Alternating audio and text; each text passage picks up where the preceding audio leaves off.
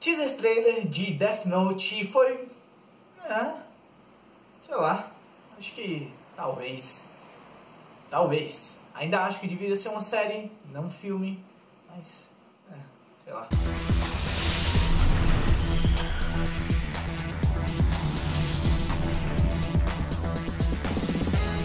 Então, maluco acabou de sair o teaser trailer de Death Note e vamos dar uma olhadinha nele, mano.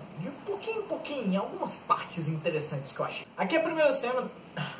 A primeira cena seria o Death Note caindo do céu, clássico e tal. Ele cai meio que do nada nos pés do nosso protagonista. Eu acho interessante uma coisa. Você vê logo de cara na próxima cena que mostraria o nosso personagem, há uma diferença entre o japonês e a adaptação da Netflix, que seria, lógico, na caracterização. Eu não queria, lógico, que fosse um japonês mesmo, não, não é preciso isso. Mas dá pra ver que o personagem é um pouco diferente pelo jeito que ele se veste, o modo que ele, ele olha pra coisa. Pelo menos eu percebi isso, onde você vê um Light Yagami lá no original, onde ele parece ser um estudante que ele dá o gás, entendeu? Ele é certo, ele é correto e você entra dentro da parada dele matar as pessoas e seguir com a justiça dele porque você realmente acha que ele está fazendo alguma coisa boa. Aqui, nesse cara, eu vejo simplesmente um maluco rebelde que ah, o sistema não funciona, vamos destruir o sistema. E, e ele basicamente é o vilão. Ele não tem como entrar naquela parte do Kira, em que você tem uma parte que fica do lado do Kira, porque você acha que ele realmente está fazendo alguma coisa boa. Aqui pela, só pela aparência do maluco, você vê que não. Tomara que o personagem dele ao decorrer do filme, me prova o contrário, em que, nossa, mano, o cara realmente, entendeu? Vende a parada dele querer ajudar a humanidade, essas coisas, mas fora isso, mano, parece que ele simplesmente é aquele cara revoltado que, ah, o sistema oprime e vou fazer isso com minhas próprias mãos, whatever, e é isso aí. Imagem da maçã, do Riku e tal, em que tem uma coisa por trás dele mesmo e uma das coisas que talvez me preocupe bastante nesse filme é como o Rico vai ser representado.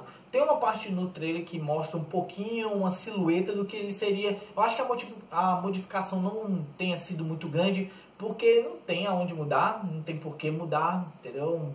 Porque já é o design mesmo do personagem e se encaixa bastante no que a própria história se propõe. Então, é, eu acho que é interessante não há, não tem mudança nenhuma no Rico. Pelo amor de Deus, não mude esse cara não. Porra, não. Aqui nós temos as cheerleaders, garotas fazendo coisas e, bem, é isso. É só pra dizer, eu acho que, bem, ó, a América aqui, americano, europeu, a parada aqui não, não é japonesa, entendeu? Só, sei lá, é meio aleatório. Talvez essa daí seja a missa, não sei. Tem uma garota que aparece no teaser também, que meio que se agarra com Light e tal. Talvez seja Missa, ou talvez seja outra, a outra garota e tal, que gosta dele, né? É, tem isso também. Aqui, o L, que seria entendeu? o ator que vai interpretar o L nessa interação da Netflix de Death Note, que ele é, ele é negro. Se você não sabia, ele é. Agora, eu acho completamente maluco você mudar assim a etnia do personagem do nada, só porque, bem, precisa de um personagem negro aqui, eu acho. Então a gente precisa botar ele. É basicamente o Tolkien de South Park, entendeu? Precisa de um personagem negro, então vamos botar ele aqui. Agora, tomara que o ator consiga tirar esse tipo de coisa da minha mente com a sua interpretação do personagem, a sua própria pegada do personagem, porque querendo ou não, eu não gostaria muito que fosse exatamente que nem o L. Ele tem que ter a presença do L, mas ele também tem que dar os pedacinhos próprios do próprio ator pro personagem, entendeu? Até porque se você olhar em diversas adaptações de Death Note, cada um dos L's, eles são diferentes no seu próprio mérito. São o L, ainda dá pra ver a essência do personagem lá, mas cada um dos atores e também do roteiro ele deu uma modificada ali para poder encaixar juntamente com a história como um todo. Light começando a escrever no Death Note, uma das coisas que realmente me incomoda bastante em adaptações live action de Death Note é que eles não conseguem dar aquele é, efeito de escrita. Eu não tô dizendo pra ele.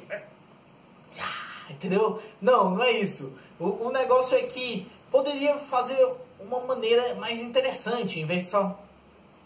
Yeah, morreu. Para você ver a passagem do personagem, como ele muda. Por exemplo, o Kira, quando tá com Death Note escrevendo, você vê na expressão do rosto, você vê na maneira que ele escreve, entendeu? Vê como ele muda, como o poder muda ele. Então, seria alguma coisa interessante para você passar que aqui talvez não seja o que o filme propunha, sei lá.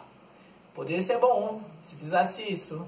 Tomara que faça, duvido muito. Primeiras pessoas morrendo, pulando aleatoriamente.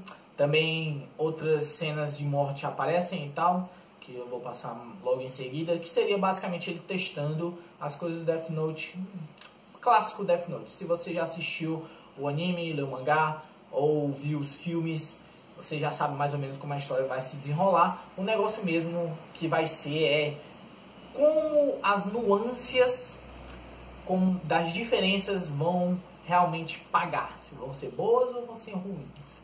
E essa cena aqui, bastante interessante, que seria Justice of Kira, o lugar totalmente banhado de sangue e tal, em que basicamente seria o Light brincando com a parada de mandar uma mensagem, se ele pode, como ele consegue, esse tipo de coisa.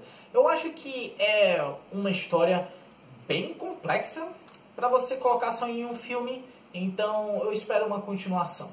Logo de cara, já estou dizendo uma continuação. Por isso que eu queria que fosse uma série, não um filme. Então.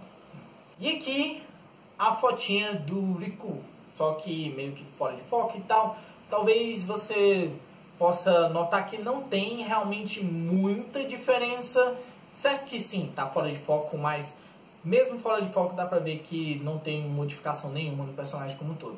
Se ele aparecer burro, aí realmente a gente vai ver e poder entender se eles mudaram ou não mudaram. A única coisa eu acho que a galera não pode mudar em Death Note é o Riku. Não pode. Não. Ei, não. E aqui nós temos a fotinha dele drogado, cara. Porque ele parece um drogado, mano. Sério. Aqui talvez seja um pouquinho mais na frente, ou quando as coisas já estão acontecendo e tal. E nós vemos um light um pouco mais batido, sabe? Ele já passou por algumas coisas. Então, de novo, cara, é como se fosse um personagem muito diferente o, o Light, pra mim, ele não chega nessa parte assim de ficar tipo. Todo fudido. Ele pode estar desesperado numa situação de merda, mas mesmo assim ele ainda bota a fachada de tá tudo bem, cara. Eu sou melhor, eu sou demais e a gente vai conseguir. E bem, mano, eu acho que é isso aí. Não esqueça de clicar nesses dois vídeos aqui para lugares desconhecidos, contrair e tudo mais. Não esqueça de comentar aqui embaixo também o que você achou do trailer, se foi bom, se foi ruim, teaser trailer, né? Porque não foi um trailer de verdade. Quando o trailer sair, uh, vai ser foda. Dia 25 de agosto, se não me engano, tem Death Note. Eu vou assistir, fazer vídeo e tudo mais. Vamos tacar o pau nessa merda aqui. Ou vamos dizer que é o melhor filme do mundo. Vou lá. Ou pode ser mais ou menos também. Então, sei lá. É tudo muito relativo. Relativo. Entendeu? Mente aberta também, né? Que a gente pode só criticar as coisas. Também se inscreve no canal e site Multiverso.